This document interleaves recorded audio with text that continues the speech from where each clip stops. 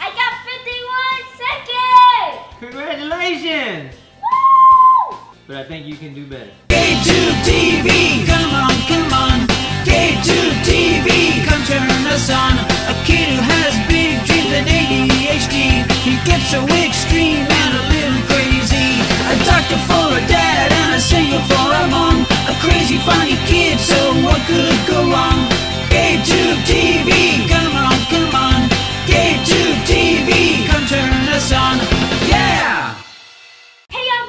Papa Doc. And welcome back to Gabe Tube TV! If it's your first time here, welcome. And they're like hilarious story reviews. And family fun activities, Remember to watch more. my ninja. And remember to smash the subscribe button. And hit that bell notification so you, You don't miss a thing. So today on Gabe Tube TV, we will review Multiplication Slam by Educational Insights. If you haven't had a chance to check out Gabe's review on Math Slam, also by Educational Insights, make sure you check it out now. It was amazing! I'm just kidding. So Multiplication Slam is the perfect game for those of you who are trying to improve your multiplication skills. It's for grades 3 plus and ages 8 and up. So you read the problem, you scan the possible answers, and then you slam the answer home. So each game is timed, and the faster you answer the questions, the better your score. So increasingly difficult levels, flashing lights, and awesome sound effects helps keep your kid engaged while they're learning at the same time. And for some kids who may be a little bit ADHD, it really helps them to focus on what they need to do. Actually, nothing can stop me from focusing on the game. Unless you're like Gabe and you have laser-like focus anyway. So make sure you check out Gabe's review of Math Slam, also by Educational Insights, which we reviewed earlier on Gabe's channel. That teaches youngsters the fundamentals of addition and subtraction. So what's over this baby So the game is laid out like so. Obviously you have the power button, but it shuts down automatically after 90 seconds of inactivity so that the batteries get preserved. And for those of you who want extreme peace and quiet, there's a headphone jack so that your child can plug in his headphones. So you have the LCD windows that shows the math problems and it shows the elapsed time at the end of the game so that you can compare your times to your best times. Woo! So then you have the answer paddles, and then you press the paddle to choose the correct answer while you're playing the various games.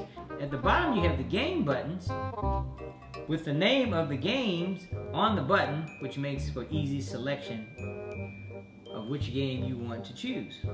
On the back of the unit, you have the battery compartment, which can be removed with the use of a coin, and it requires three AA batteries to power. So to compare and contrast the multiplication slam with the math slam, The first thing you notice is the Math Slam is a larger game. Also, the Math Slam has fewer buttons. The Math Slam is for grades K plus and ages 5 and up. Whereas the Multiplication Slam is for grades 3 and up and ages 8 and up. The first game is called Skip It, where you do skip count. So you choose a multiple with which to practice. After you choose the multiple to practice, you then press all the multiples on the answer paddles. So after you choose the multiple to practice, nine multiples appear on the answer paddles. Then you have to press the multiples on the answer paddles from lowest to highest. After you press the multiples in order from least to greatest, your final elapsed time appears in the window. And so you're playing against yourself. You're trying to beat your best time. I'm, let me choose. I choose 5.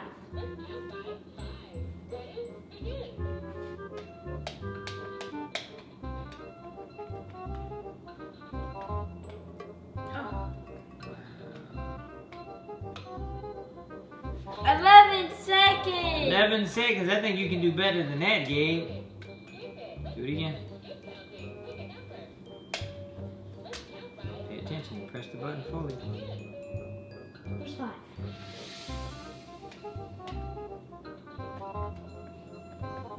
Seven Whoa, seconds. seven seconds. Good job.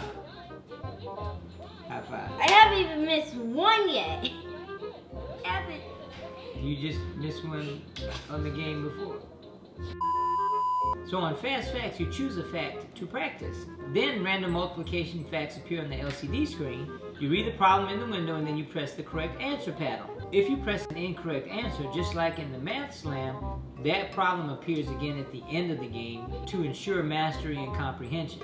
When you answer all 10 questions, in your best time appears in the window, which once again, you're trying to beat your best time, so you're playing against yourself.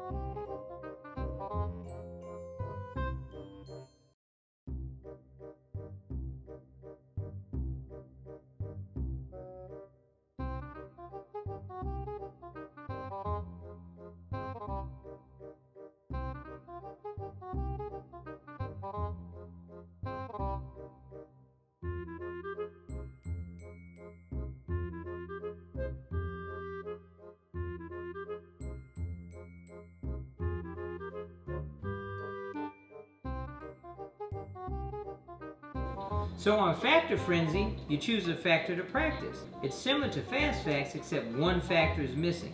Just as a point of information, Factor Frenzy has nine questions as opposed to the three of the other games which have 10 problems. Not exactly sure why.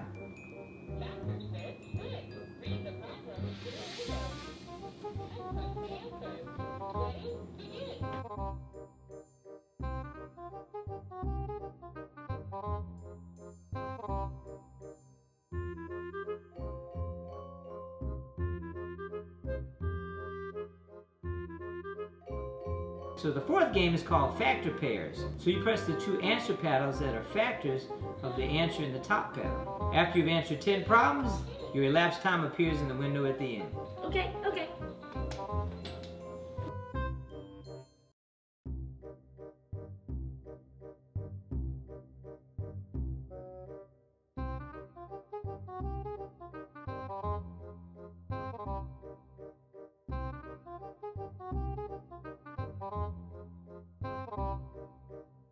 So the final game in Multiplication Slam is called Sequence. So a sequence is shown in the paddles at the top, and you choose the paddle that completes the sequence. When you correctly completed all 10 sequences, your elapsed time appears in the window at the end of the game.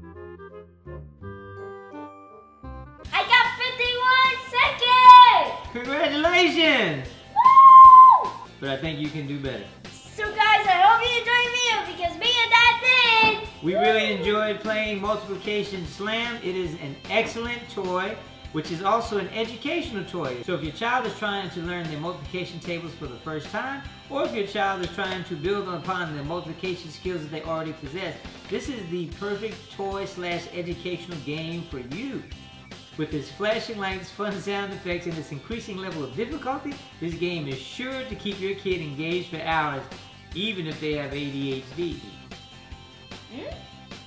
And make sure you comment down below and let us know what you like to see on Gabe Tube TV! Da, da, da, da, da, da, da. We out of here. Hi, I'm Gabe, and you've been watching Gabe Tube TV. If you want to keep up with the videos we're putting out, just click on the subscribe button below. If you want to see more toy reviews for kids, funny videos, uh, family fun for everyone, click on the list beside me, okay? For more Gabe Tube TV! So guys, high five!